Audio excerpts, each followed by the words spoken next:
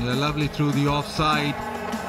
Being able to hit the ball on the up and stay with most shots. Terrific wrist work in that cover region. is particularly strong at.